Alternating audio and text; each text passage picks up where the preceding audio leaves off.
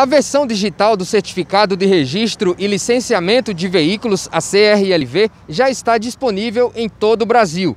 Para ter acesso ao documento, é necessário baixar o aplicativo Carteira Digital de Trânsito. Nele também é possível acessar a Carteira Nacional de Habilitação, a CNH.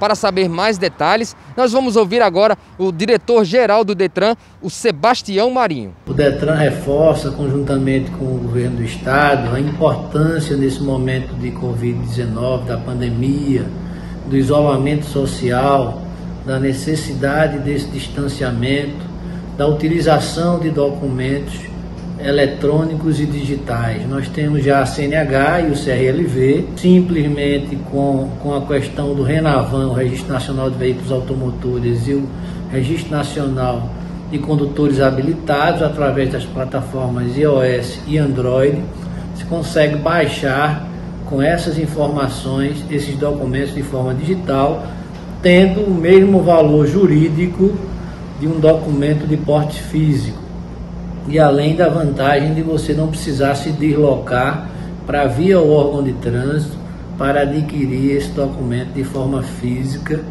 causando até uma certa exposição. A utilização trará para o cidadão essa, essa condição de segurança do porte de documentos digitais. Muito bem.